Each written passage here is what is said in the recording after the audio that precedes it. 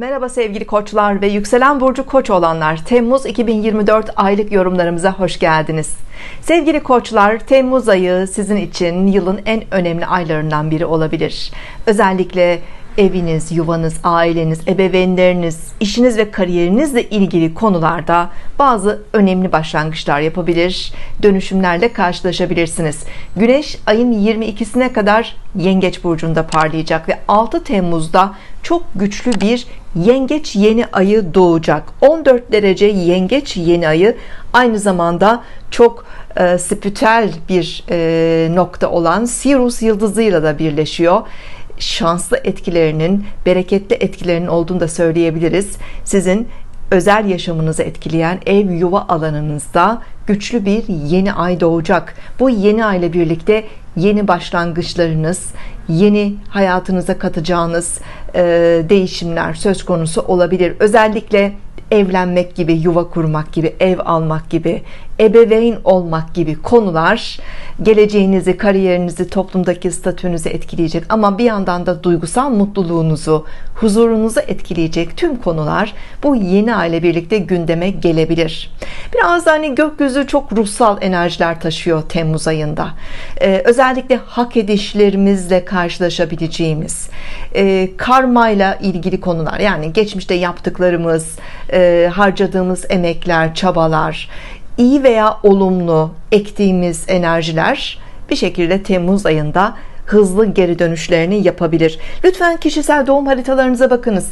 Özellikle güneşiniz ve yükselen burcunuz 14 derece ve yakınlarındaysa bu yeni ay sizin için çok daha güçlü etkiler getirebilir belirleyici etkiler getirebilir ebeveynleriniz kendi çekirdek aileniz onların yaşam düzenleri ve benzeri konular da tabii ki bu yeni ayın kapsamında olabilir size ait ailenize ait bazı toprak emlak mülk bunların alınması satılması dönüşüm dönüşümleri evde yapılacak bazı yine e, değişimler Tüm bunlar e, yine yeni ay ile birlikte hayatınıza daha fazla dahil olabilir. Evet yengeç yeni ayı Özellikle sizin için geçmişe ait konular, aileyle paylaştığınız konular, size geçmişi hatırlatacak deneyimleri, biraz daha size duygusal olarak etkileyecek konuları da daha fazla gündeme getirebilir. Dolayısıyla aile ve yakınlarınızla daha fazla paylaşım içerisinde olmanızı da bekleyebiliriz. Merkür 2 Temmuz'da Aslan Burcu'na geçecek. Ay boyunca Merkür çok hızlı. 2 Temmuz'la 25 ee, Temmuz arasında Merkür Aslan Burcu'nda olacak. Venüs 11 Temmuz'da Aslan Burcu'na geçecek. Bu da hani bireysel olarak kendinizi ifade etme gücünüzün iletişim becerilerinizin güçlendiğini gösteriyor.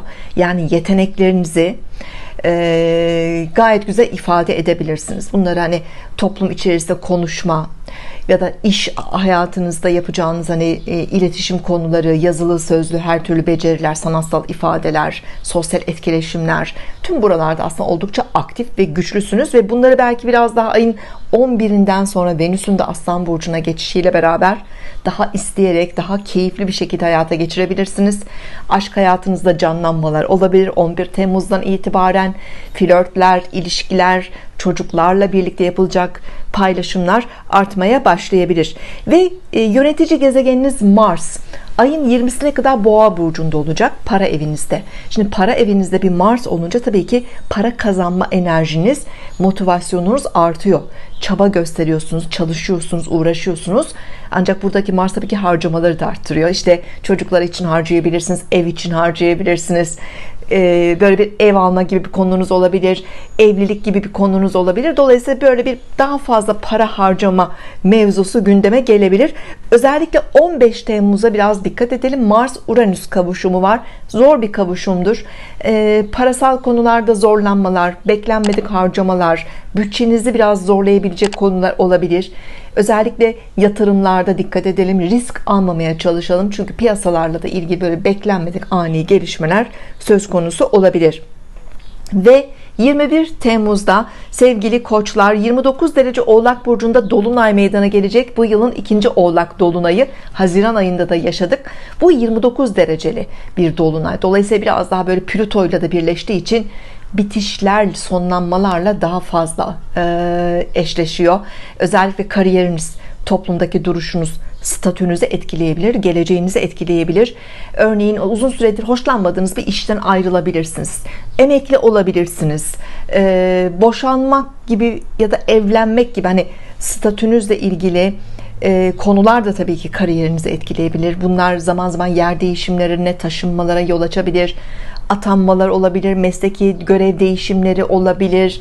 E, biraz daha hani hayatın düzeninde e, netleşen konular yani biten dönüşen tamamen artık kapanan konularla alakalı olabilir. Ebeveynlerinizle de ilgili olabilir tüm bu olup bitenler. Lütfen kişisel doğum haritalarınıza bakınız. Herkes aynı şekilde etkilenmeyecek tabii ki.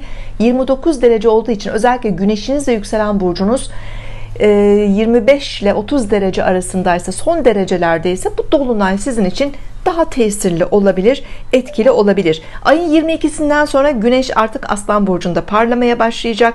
5. evinize geliyor. Artık biraz da eğlenmek için tatil yapmak için işte böyle eğlenceler toplantılar partiler olabilir sosyalleşmeler olabilir aşk hayatınızla ilgili konular olabilir. Bu alanlarda çok daha fazla destek alıp etki almaya başlayacaksınız ve kendinizi toplum içerisinde daha rahat e, gösterebilirsiniz. Motivasyonunuz da artmaya başlayacak. E, böyle oyunlar eğlenceli konular hatta risk içeren spekülatif konular ki bunlar yarışmalar olabilir işte biraz daha parasal piyasalarla ilgili konular olabilir. Buralarda da enerjiler daha fazla artmaya başlayacak. 25 Temmuz'da Merkür Başak Burcu'na geçiyor. Merkür Başak'ta oldukça detaycı e, mükemmelliyetçi ve hesapçıdır. Özellikle ayın 25'inden sonra ayın son haftasında biraz da hani günlük işleri e, sonbahar döneminde yapılacak işleri eğitim konularını ticari işli mesleki konuları daha detaylı düşünmeye başlayabilirsiniz.